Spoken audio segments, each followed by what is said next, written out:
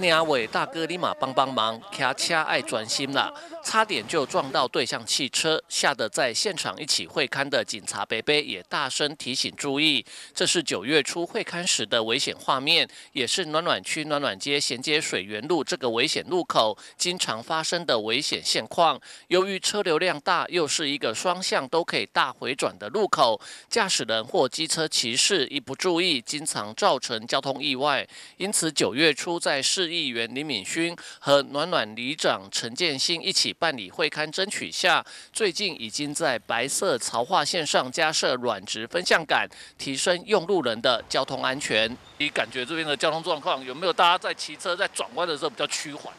呃，应该是有的。我在这边观察很久了啊。重点是他们来的时候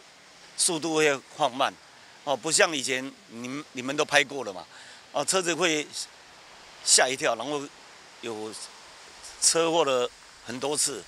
然后这次呢已经有七环了，哦，差很多。因为双龙桥出来哈，要跨越暖街的这个潮化线哦，那很多人会从这边回转往暖溪国小的方向去。那其实不管是摩托车或者是车辆哦，其实很多会直接跨越到那个潮化线上面，那其实非常危险。那因为它回转角度的半径的关系吼，那你在穿越的时候，有些如果它从上面下来，会速度太快的车辆会没有看到。那这个地方时常发生大小不断的车祸吼，那所以说那个我们陈建新里长就有特别建议吼，那闽区这边办的会刊，我们在上个月办会刊说，希望说在这个软直分呃分站杆可以设置在我们的潮化线上哦，那设置完之后，我们观察一段时间，那经过的车辆其实都会呃因为这个软直分站。的设置之后，哈，软直分向设置上去之后，那车车辆在前进的时候都会放慢速度。那尤其是我们也有特别请那个公务处这边在设置，交通处这边在设置的时候，要把软直分向杆好的那个间距要缩小，好，那所以它在五十公分以内，让摩托车没办法直接从那个分向杆中间穿越，好，才才能有效的达到这个呃让车辆放慢，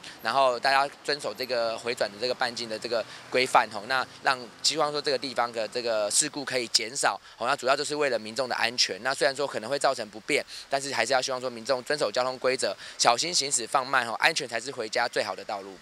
不过李敏勋还是提醒行经这里的汽车驾驶人或是机车骑士，务必要遵守交通规则，减速慢行，才能避免交通意外发生。记者吴俊松机动报道。